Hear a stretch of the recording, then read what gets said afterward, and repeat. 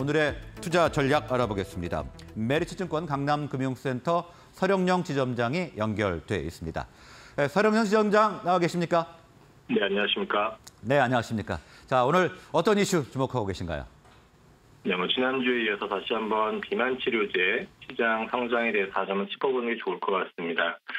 어, 어제도 다시 한번 그 비만 치료제 관련해서 많은 이야기들이 와갔던 시장이었었는데요. 특히나 미국에서 이슈가 되고 있는 당뇨 치료제 GLP-1 기전을 기반으로 한 비만 치료제가 많이 화두가 되고 있는 상황입니다. 어, 로보로 디스크의 마운자로와 유고비와 그다음에 릴리의 마운자로가 시장에 크게 어, 수요를 이끌어내고 있는 상황인데요.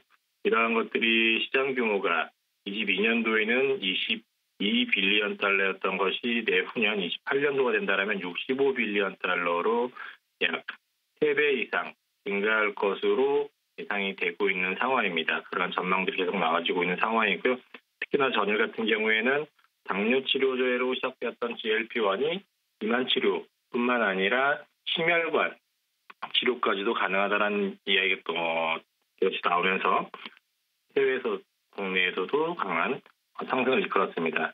그런 것들이 비만 치료제 GLP-1이 비만 치료 목적 비중이 현재는 10% 정도만 되고 있던 것이 28년까지 본다라면 약 30%로 증가할 것으로 적용증에 대한 것들이 늘어날 것으로 보이고 있고요. 최근에 지금 미국에서 가장 많이 판매가 되고 있는 위고비 같은 경우에는 48주를 투여했을 경우에는 약 24% 체중이 감소되는 효과를 보고 있습니다.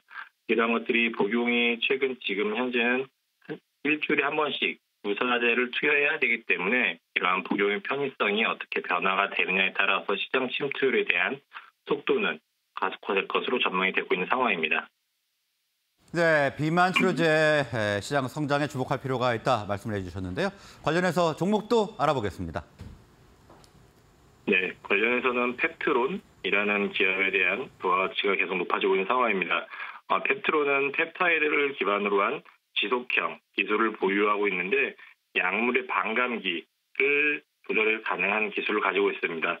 즉 기존에 주 1회 투여했던 것들을 월 1회 혹은 월 2회로 투여를 가능하게 만들어준다는 것입니다. 어, 체내에 투여된 약물의 어, 침투 속도를 조절을 해서 조금 더 오랫도록 약효가 지속될 수 있게 만들어주는 기술을 가지고 있고요. 이러한 것들을 기반으로 이 기술을 기반으로 해서 최근에 해외 제약사들과 비만 당뇨 치료제에 대한 라이센싱, term sheet을 수령해 있는 완료된 상태입니다. 이러한 것들이 조만간 기술 이전에 대한 가능성이 높아져 가고 있는 상황이고요. 특히나 앞서 말씀드린 당뇨 치료제 기반으로 한 GLP-1으로 비만 치료제 시장을 노리고 있는 어, 노보노디스크와 일라이 릴리에 대한 계약이 가시권에 이루어져 있기 때문에 이러한 것들에 대한 기술 이전이 이루어졌을 때는 valuation이 현재보다는 조단위로 quantum jump를 할 수 있는 상황이기 때문에 거에 대한 부분들을 지속해서 모니터링 해 볼 필요가 있어 보이는 상황입니다. 네, 비만 치료제와 관련해서 펩트론 오늘 관심 종목으로 말씀을 해주셨습니다.